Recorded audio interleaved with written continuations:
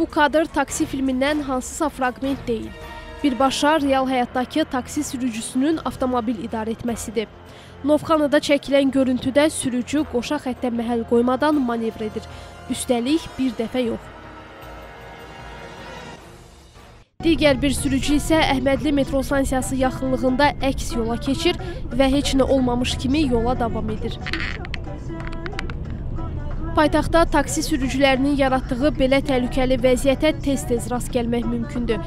Vəziyyət o həddə gəlib çatıb ki, artıq ilin ilk 4 ay ərzində Daxili İşlər Nazirliyinə taksi sürücülərindən yüzlərlə şikayət daxil olub. İlin əvvəlindən ə, bu günə qədər ə, taksi fəaliyyəti ilə məşğul olan bəzi sürücülər haqqında daxili işlər orqanlarından vətəndaşlar tərəfindən daxil olan 400-dən artıq müraciət var və 400 nəfərdən artıq ümumiyyətlə ə, taksi fəaliyyəti ilə məşğul olan müxtəlif şirkətlərin, ə, taksi şirkətlərində çalışan ə, sürücülər tərəfimizdən müəyyən olunub və məsuliyyətə cəlb olunub.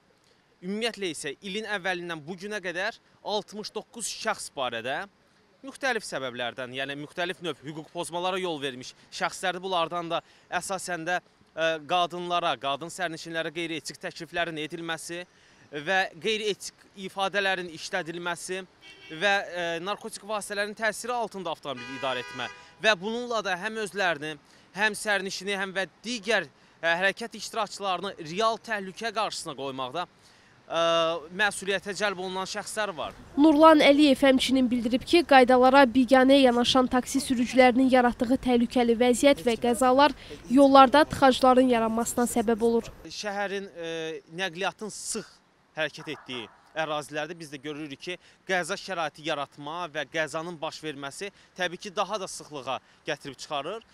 Bəzi hallarda da görürük ki, elə taksi fəaliyyəti ilə məşğul olan o şəxslər adekvat olmayan vaxtı qəza törədirlər və təbii ki, bununla da sıxlıq yaranır. Ən maraqlı kadrı isə ən sona saxlamışam.